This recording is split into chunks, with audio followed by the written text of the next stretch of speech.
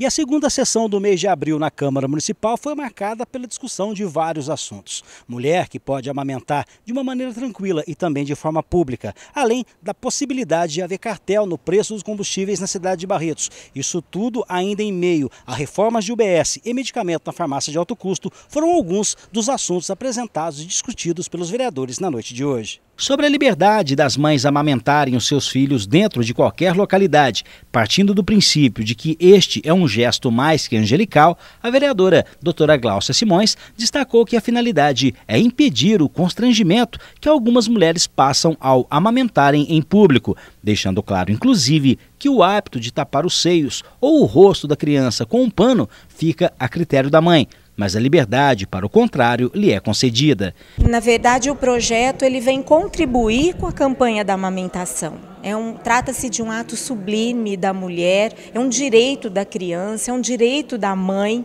né? contribuir para a saúde do seu filho. Nada melhor do que a amamentação, o leite materno, para fortalecer a criança. E como a gente sabe que existem casos, existem cidades onde mulheres já foram constrangidas na hora da amamentação, nós não queremos isso para Barretos, nós queremos que Barretos saia na frente. Então, uma legislação é, viria ao encontro desse interesse que a mulher tem de amamentar o seu filho, para que ela não sofra nenhum tipo de constrangimento, que ela tenha liberdade de amamentar o seu bebê aonde ela bem entender, a hora que ela bem entender. Né? Nós queremos que essa mulher sinta-se é, é, é, valorizada pelo ato da amamentação e não constrangida. Já a questão da saúde, voltada à demora na reforma da UBS do bairro Cristiano Carvalho, assim como a não entrega de alguns medicamentos na farmácia de alto custo, foi destacado pela vereadora Paula Lemos. Então, nós estamos muito preocupados com a saúde de Barretos, do barretense, algo que eu acho que a prefeitura tem que colocar como prioridade. Nós, lá na, é, existe a UBS do Cristiano de Carvalho, ela começou com uma reforma simples, isso aí já passou muito tempo e até hoje não foi entregue. E a população tem sofrido ali do Cristiano, porque são pessoas idosas, crianças, criança, mãe com criança com febre, tendo que andar todo um percurso para ir lá na UBS do Barretos 2. Então nós estamos pedindo a sensibilidade do senhor prefeito para verificar o que está acontecendo numa reforma simples que até hoje, já faz um bom tempo, já fazem meses, ainda não foi é, concluída. Então para que se conclua rapidamente essa essa reforma da UBS do Cristiano, para que possa retornar o atendimento naquele espaço. E nós também recebemos, aí a população tem reclamado bastante dos remédios de alto custo. Está faltando na rede, nós recebemos agora uma resposta do Poder Executivo que realmente há uma lista grande de medicamento faltando. Isso é muito sério, porque essas pessoas dependem desse medicamento e, como o próprio nome já fala, é de alto custo. As pessoas não têm condições de pagar, então que a Prefeitura regularize essa situação e também os remédios de ordem judicial. É uma ordem judicial, a pessoa foi na justiça e nem a ordem judicial a prefeitura está cumprindo. Então, assim, que se olhe com mais atenção para a saúde. Saúde é coisa séria e tem que ser olhada com compromisso.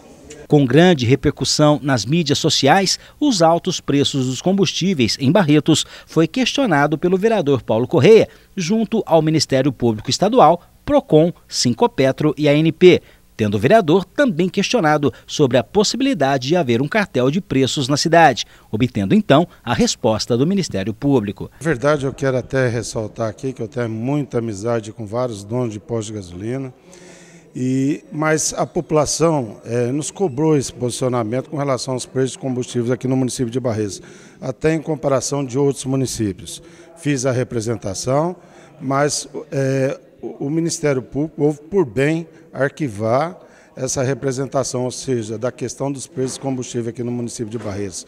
Mas hoje eu estou levantando na Câmara Municipal é, que eu estive na cidade de Ribeirão Preto, abasteci a 2,39 num poço que tem bandeira.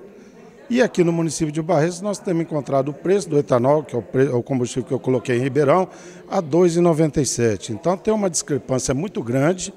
E o dono, o empresário que eu abasteci lá, que é dono de um posto que tem bandeira, ele pagou ah, o combustível etanol a 2,01 o litro para pagamento em 3G. Então está tendo alguma, algum desencontro. Ou o empresário de Barreiros está pagando caro na distribuidora, ou está havendo algum tipo de acordo, selado ou não selado, até em função dos preços estarem bem parecidos aqui no município de Barretos. Embora a possibilidade de haver cartel tenha sido descartada pelo Ministério Público, o vereador afirmou que irá providenciar outra representação para que a população entenda o porquê dos preços serem tão discrepantes em relação a outras localidades. Nós vamos voltar a insistir com o Ministério Público com relação a toda essa situação, porque a questão, da, a questão dos preços aqui está de uma forma é, uniforme e, e, acredito que nosso intuito é baixar o custo do combustível aqui no município de Barretos, que ele seja equivalente a um preço praticado em cidades próximas aqui de Barretos.